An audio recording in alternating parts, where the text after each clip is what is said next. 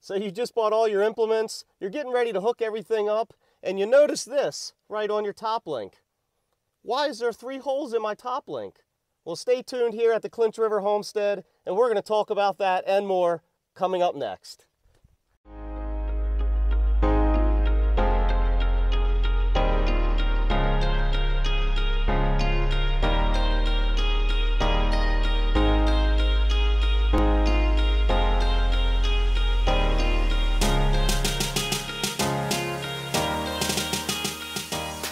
So I get a lot of questions asked by people.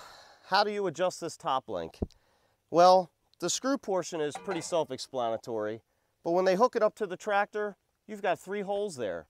What are they for? What do they do? How do you use them?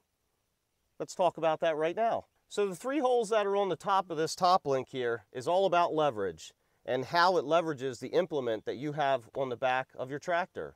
When you have this in, adjusted in your top hole, so that top hole is the least aggressive of your attachment points. What I mean by that is you have to look at this as a pivot point. This top link doesn't move up and down, it stays in one position. The only thing that does move is the bottom links.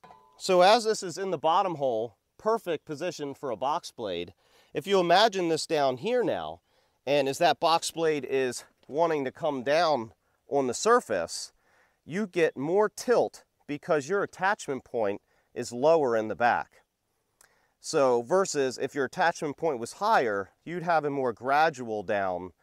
And by the way, if you like the content that you're watching today and you'd like to see more just like this, hit that subscribe button and tick that little bell. You'll get notified on all of our future videos. And if you like to support the algorithm, smash that thumbs up button. So if you just want to know the basics of where to put this when you're using what implements, the best advice I can give you on that is if you're mowing grass or, or um, something that you don't need a lot of down pressure on, down pressure is key. If you don't need that down pressure force, your top adjustment hole on your top link is going to be the best choice for you.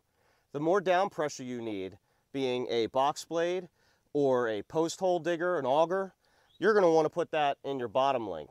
That's going to give you the most aggressive angle on that implement so that you can get the best cut into the ground. So I think we're going to wrap up the video today. I hope I explained it uh, well enough for you on how to adjust your top link of your three-point hitch and what these top three holes mean. I hope you got some great information out of this. I want to thank everybody for joining us here at the Clinch River Homestead. And uh, as always, if you like that video, smash that thumbs up, hit the subscribe and tick that little bell. You'll get notified on all of our future videos. Thanks again for joining us here at the Clinch River Homestead. We'll see you on the next one.